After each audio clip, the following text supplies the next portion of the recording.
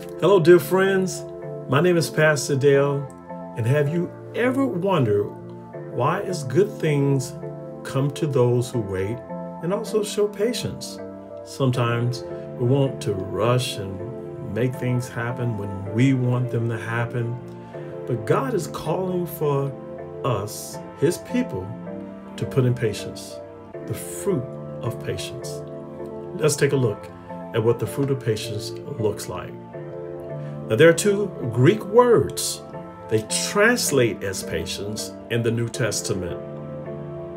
And those two words are hupomone means a remaining under, as when one bears up under a burden. It refers to steadfastness in difficult circumstances. And then we have macrothumia, which is a used in Galatians 5:22, is a compound form by macros, long, and also thumos, passion or temper. Patience in Galatians 5:22 literally means long temper in the sense of the ability to hold one's temper for a long time. The King James Version translates it as long suffering. A patient person is able to endure much pain and suffering without complaining a patient person is slow to anger as he waits for God to provide comfort and, and punish wrongdoing. Since it is a fruit of the Spirit, we can only possess macrothumia through the power and work of the precious Holy Spirit in our lives. Patience comes from a position of power.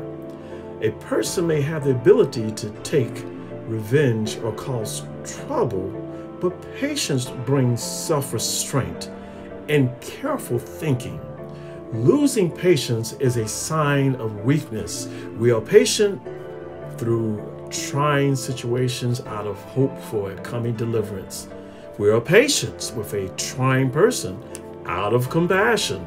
We choose to love that person and want what's best for him or her. As the Spirit produces patience in us, he is making us more Christ-like. Second Thessalonians 3 and 5, it speaks of the patience of Christ. Christ is even now patiently awaiting the completion of the Father's plan. After Jesus had offered for all time one sacrifice for sins, he sat down at the right hand of Father God. Since that time, he waits for his enemies to be made his footstools according to Hebrews 10 12 through 13. Now we should be patient, even as He is patient. God is patient with sinners. Romans 2 and 4, it says that God's patience leads to our repentance. Romans 9 and 22 points out that only God's patience prevents him from destroying the objects of his wrath. Paul glorifies the Lord for his unlimited patience that saved him the worst of sinners. 1 Timothy 1 and 16. Now, Peter highlights the patience of God in 1 Peter 3 and 20, pointing out that God had immersed patience with the evil people in Noah's day, delaying judgment as long as possible. You can read this in Genesis and 8. Today, our Lord's patience gives people time to be saved. 2 Peter 3 and 15. Be patient and not to complain as we wait for Jesus' return. James holds up the prophets as models of patience. James 5 7 and 11. The Old Testament prophets ceaselessly spoke God's word to unheeding and abusive audiences. Jeremiah was thrown into a cistern, according to Jeremiah 38 1 and 16. Elijah was so worn out from his fight with Jezebel that he wanted to die. First Kings 19 and 1 and 8. And Daniel was thrown into the lion's den by a king who was his friend. Daniel 16, you can read this in Daniel 6, 16 and 28. While God delayed judgment, Noah prophesied of the coming destruction in, in, in 120 years, did not have a single convert.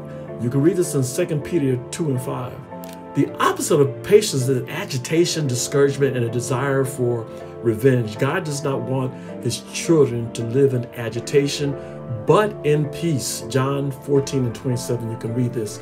He wants to dispel discouragement and replace it with hope and praise. Psalms 42 and 5. We are not to avenge ourselves, rather, we are to love others. Romans 12 and 19, and also Leviticus 19 and 18 speaks of this. God is patient, and His Spirit produces the fruit of patience in us. When we are patient, we leave room for God to work in our hearts and in our relationships. We lay down our schedule and trust in God. We thank the Lord for what and whom He's brought into our lives. We let God be God. Please pray with me. Father God, please forgive me of all my sins and save me. Fill me with your precious, powerful Holy Spirit, the Spirit of truth, and empower me with more patience to be able to move with you and not ahead of you. We pray all these things in your majestic, mighty name, your Son, Yeshua HaMashiach, Christ Jesus. Amen, amen, and amen. God bless you, my friends. And I look forward to seeing you next time. Have a great day.